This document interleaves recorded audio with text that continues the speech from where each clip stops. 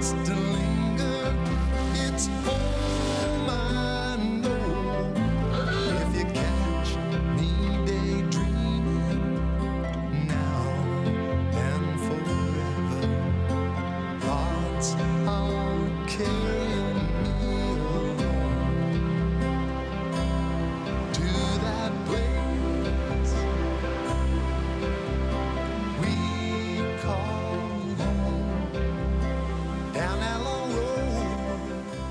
Huron and the Algonquin called it Asticou. The French equivalent was chaudière. Whatever the language, the meaning was the same, a boiling kettle, a cauldron of water spewing forth from the interior. Around those falls in the Ottawa River was a portage for Brule, Champlain, the missionaries, the voyageurs, a parade of characters from Canada's past, traveling for the cause of furs, religion, a new route to the Orient. And then there was that remarkable and complex man, Philemon Wright. He was described by a contemporary as about six feet high, a tight man, with a wonderfully strange, quick, reflective, wide eye. At the age of 39, Wright recognized the potential of the land and the timber and the power of the chaudière, and he set out to realize a vision. We'll trace the story of Wright, who was to become known as the father of the Ottawa, and of Wright's town, which was to become the present-day city of Hull in the province of Quebec.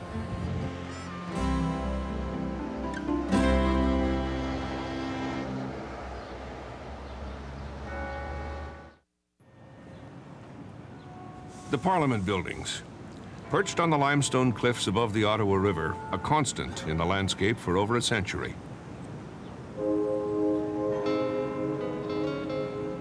For the city on the other side, the too often used cliche referring to Hull, the view is etched in its psyche. At times through history, the river, separating this city from the nation's capital, may as well have been an ocean, but things are changing.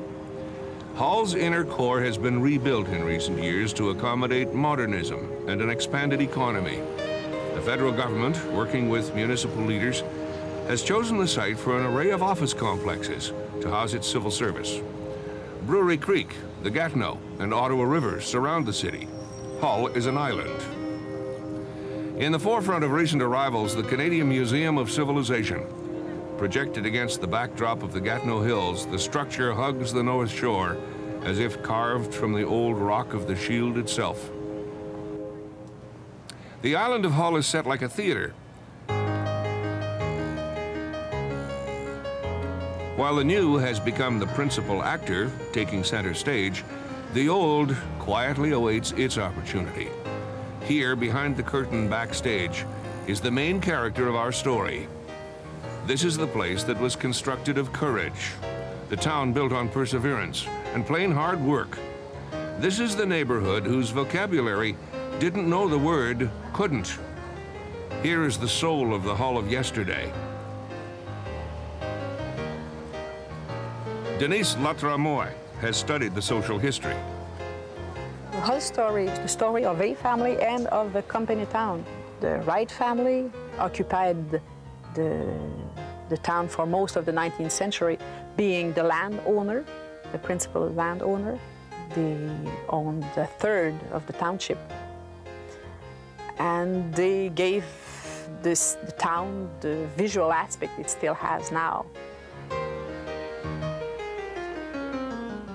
This collection of working family homes has survived many influences, natural and man-made.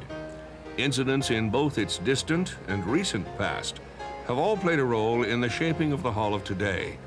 In fact, its history is still very much unfolding. As a journalist, Jean Bellot has tracked much of the story. The movement of all these government buildings is kind of a new phenomenon, I have the impression that they're just sort of planted there. What kind of impact has that had on the city and on the people who live here? In the 30s, 40s, and 50s, every politician in here was saying we need federal buildings in Hull. Finally, the federal government came in, but unfortunately, the way it was planted, like you say in Hull, it, it's a very nice word. It, it destroyed the, the, the social, uh, the, the, the, the, social fiber of of the old, of the island of Hull. Well, I'm not so sure that it's been destroyed because I can walk a block from the big government building, or one of the big hotels here, and I'm in what seems like the old part of Hull. Yes, definitely, yes. Well, the people who still live there, people who survived, the people who were able to relocate themselves, and they're sure they're not going to give up that because that's, that's their social fiber, that's their reason to be. But the changes have been great. There's a saying that goes that uh, Hull is a lucky city in the sense that it has 15,000 tourists that come in at 8.30 in the morning and leave at quarter to 5 every day, five days a week, and, uh, and it's the case. You know.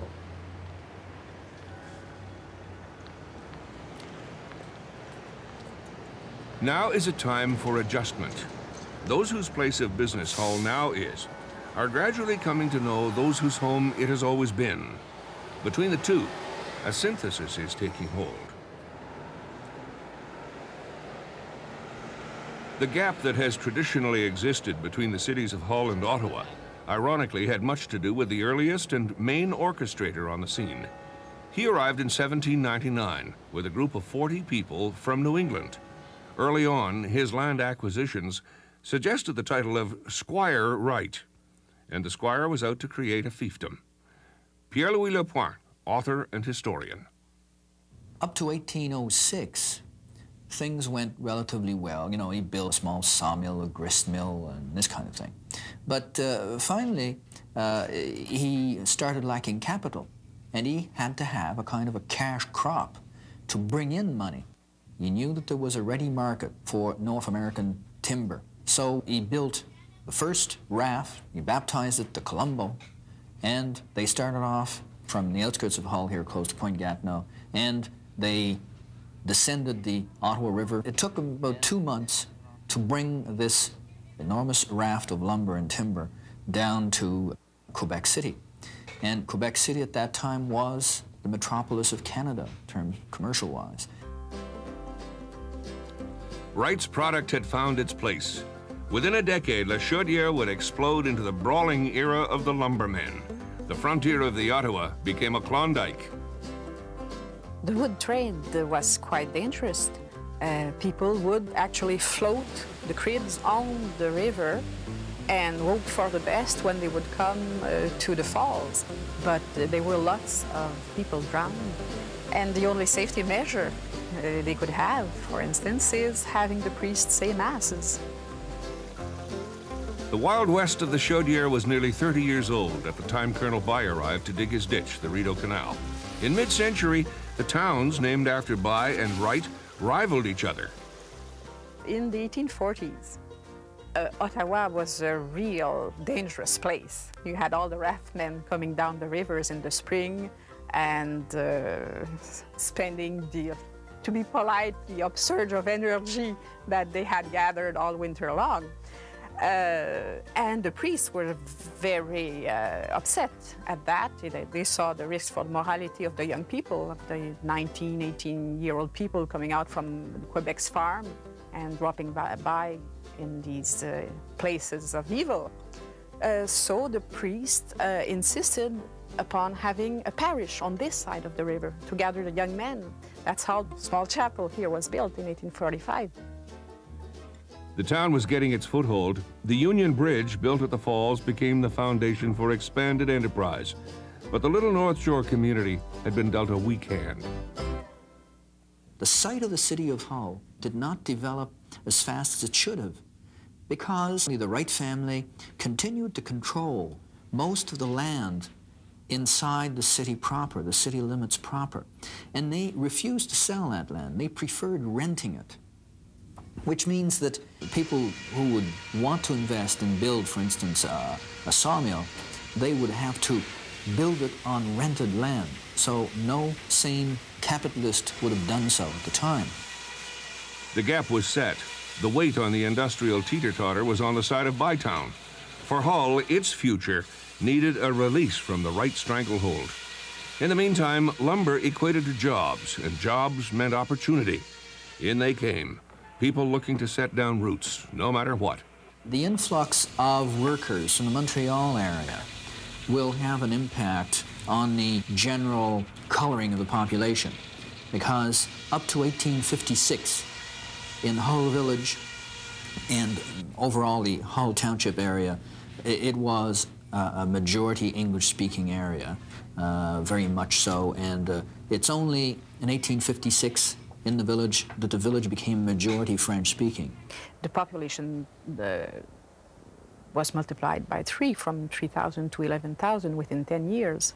So it, there's a big uh, boost of population within these 10 years. And they rented little lots of land from the Wrights on which they would build their little house.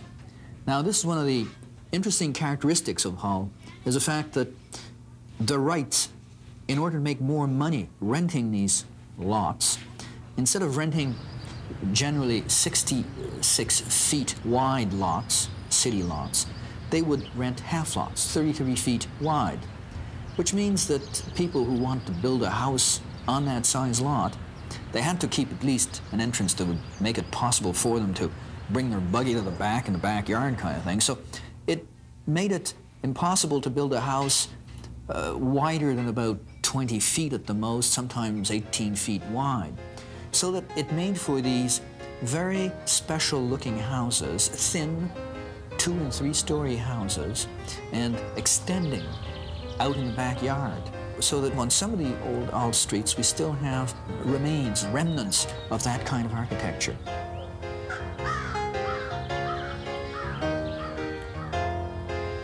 For the established settlement on the original site, there would be hope at last. In the middle of the 1800s, the town would welcome a new player who would become their hero and benefactor, leading it into an age of success.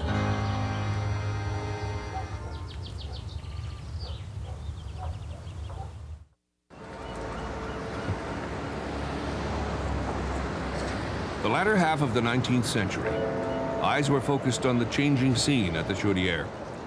What we see today is but a fraction of the industrial complex that rocketed the community overnight into world markets.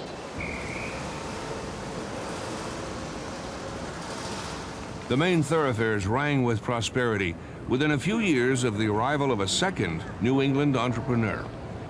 This one would shed the old name of Wrightstown and bring in the new, Hull, after the township. E.B. Eddy was the main character from the middle of the 19th century to the end. He was a mayor, he was a member of parliament, and he was the principal employer of the town. E.B. Eddy came to Hull in, in, in 1852, and he started making matches, you know, these hand matches. They were almost explosive, dangerous devices. I mean, when you, you, you lit one, there was so much smoke that uh, they, they even called some of them Lucifer matches. I mean, they, they were terrible things. Of course, he had a big impact uh, on, on the whole history of Hull.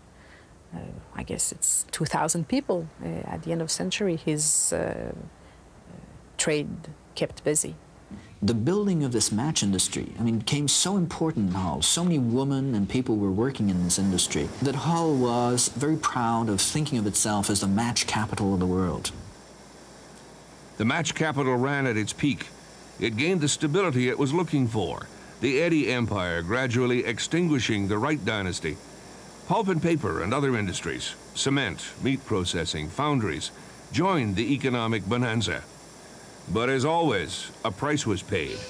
The wail of the factory whistle sounded its cry throughout the Dickens-like neighborhood. Hull was an industrial town. People with low wages, long hours. It was a hard-working town. It's only in 1895 that uh, the day work was brought down to 10 hours. It, people used to work from 6, 6 in the morning to 6 at night. Uh, you had children working in the sawmills. It was a grim picture. Life was simply tough. Early labor movements arose, solidarity against working conditions. Families, neighbors, stuck by one another, their way of life mirrored in their very homes. The main activity of the town being centered on wood. Most houses were built of wood. people would gather the base of their house with whatever beams they, they would find, and that would be the structure, and, and that's it. Uh, no basement, and uh, yeah, they build high to have uh, more room since they had such small lots. If you look at Jean Lee's uh, paintings, for instance, you still find that. Captured on canvas is a peek into what citizens today refer to as Le Vieux Hull, the old city. See, this is the old part of Hull. And uh, for a painter, this is uh, what's interesting, you know, because the new, uh, the new buildings are, are not much for a painter, I guess. not for me, anyway. Jean Ali is part of a special brand of culture that this community has fostered. Following in the path of others like internationally known painter Jean Dallaire, Ali interprets from memory the place of his boyhood. A walk through the old town is to take the road to nostalgia.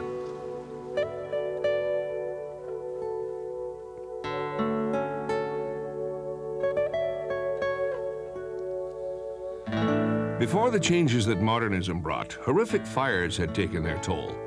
Those of the 1800s, though, would never compare to the inferno at the end of the century. In 1900, it's a catastrophe because the, the old city of Hull, the other, the other four-fifths of the town, or the other three-quarters of the town that hadn't burned down in 1888, burnt down in 1900, in the spring of 1900.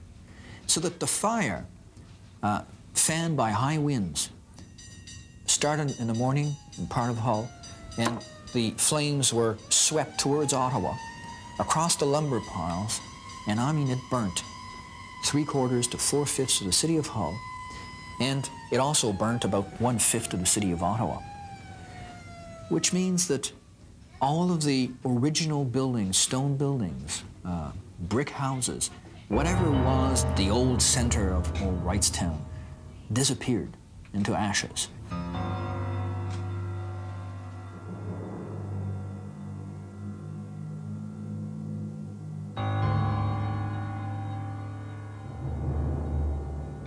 People had to rebuild, totally rebuild a town, which they did so in about six months to a year and a half.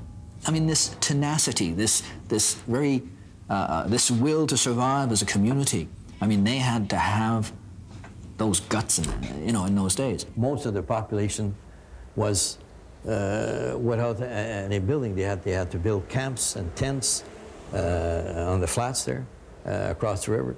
And then they rebuilt. And this is why, not so many years ago, you could still see those houses with large wooden planks. You know, like this. The company had given them that to, the, to its employees so they could rebuild their house to come and live there. And the people had used that. And they would never paint them and never fix them because at that time, if you painted your house, your taxes would go up. So people would fix the inside of their house very nicely, but they, would, they, wouldn't, they would bother with the outside. A supporter of today's restoration movement in the Old Quarter is Raymond Ouimet, who spends time working with his neighbors toward a common goal. Most of the houses you find on this street were built uh, right after the uh, Grand Feu of 1900. Those houses will be uh, protected the next uh, year by a new rule to try to help people to remember how the city used to look at one time. That doesn't mean that you cannot uh, still continue to build new things, but I think that uh, it is important to remember what people did before us. Ben, toutes les maisons de- du viol étaient comme ça il n'y a pas si longtemps. Hein? It is by visiting people like senior resident Monsieur Perron that Ouimet is able to piece together the complete story of the buildings. du vieux moulin. Sur, après, vous avez traversé le pont. Monsieur Perron tells him of growing up in this house and remembering the legendary mill owners like J.R. Booth, who benefited the city. Euh, de, des chez Bout, chez Bout. J'ai.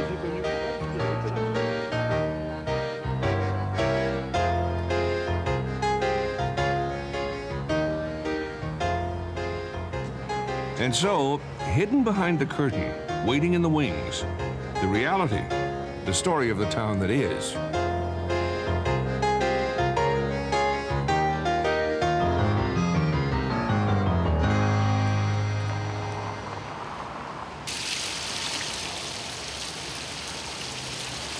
On the streets today, a spirit of renaissance, with one thing for sure. The community has always been resilient, prepared to meet the future head on. Old town embracing new town, and vice versa. Because it was an industrial town, it had a tendency of uh, being downplayed by people who had white-collar jobs or blue-collar jobs in, in uh, the capital city of Canada. But there's something very important to notice is that Hull, even if it was close to the capital it has always managed to keep its own form of culture and uh, its own uh, uh, way of living. Our ancestors in Hull, our people in Hull, worked very hard to build what they what they could, and and and uh, really made great strides. We have a responsibility, uh, responsibility too to the young who follow us. What kind of town we will, will we leave them? Just buildings? Or a place where it's nice to live in? The people we have met, Denise, Pierre-Louis, Raymond, Jean-Louis, and Jean Belot, exemplify the heart of this place. They are a part of the story, and knowing them tells me it will succeed. Hull's history is unfolding. The city of Hull began with the lumbermen, then went on to become an industrial center. It always had a spirit, a kind of a rough and ready frontier atmosphere. And if you visit here today, you get the feeling it's still not very far from that. Government, the civil service, they're here, but not really a part of it. That'll take another couple of generations. Despite the overpowering shadow of the Parliament buildings just across the river, the city of Hull is unique with a style and distinction that's all its own. Whenever I go, whenever I that place, I know it'll always be home.